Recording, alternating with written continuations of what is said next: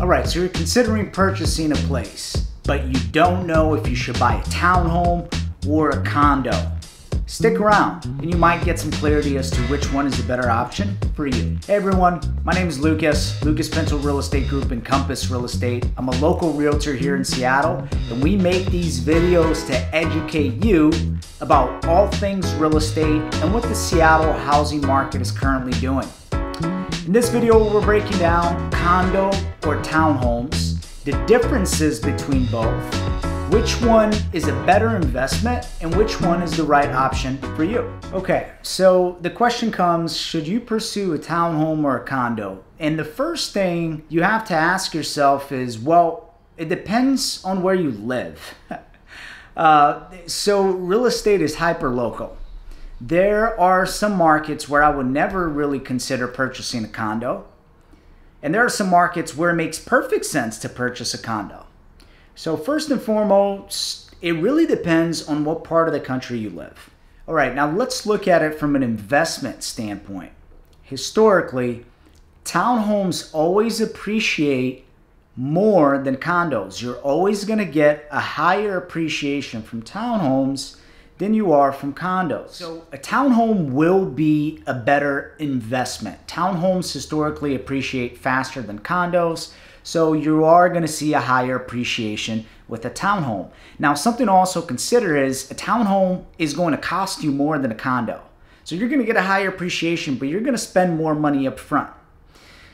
Now, something else to consider is some townhomes don't have an HOA due, which could be really attractive, which means you could afford more townhome because there's no HOA dues. See, most condos are going to have an HOA due. And HOA dues over time, they tend to go up.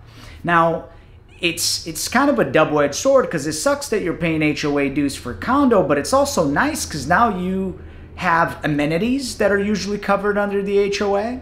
A lot of HOAs include garbage, water, sewage, internet, uh, concierge services. So the HOA certainly goes towards something. It's not all negative. With the townhome, you tend to get a lot more square footage. You tend to get a lot more space.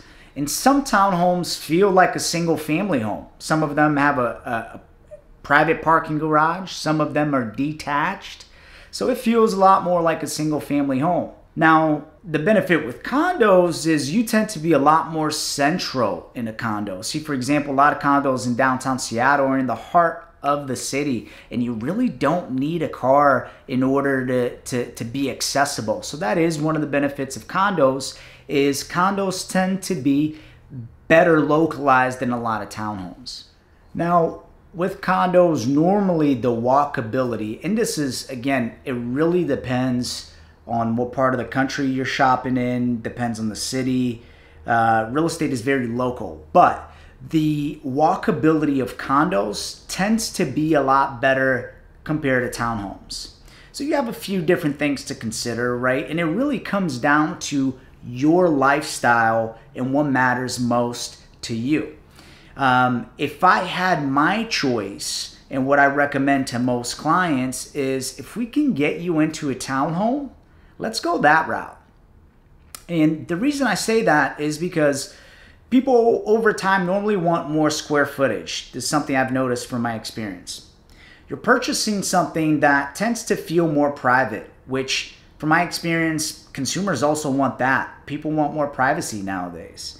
And third, historically you're also you're always going to get better appreciation with the townhome than you would with the condo. So, there you have it. It's a very personal decision. Which one would you choose? Comment below. Let me know your thoughts. Let me know if you have lived in townhomes before, if you have lived in condos before, what that experience was like, and which one you prefer. I hope this video was helpful. As always, don't hesitate to reach out. We're always here to help. Feel free to text, call, email. Love to be of service. And until next time, peace.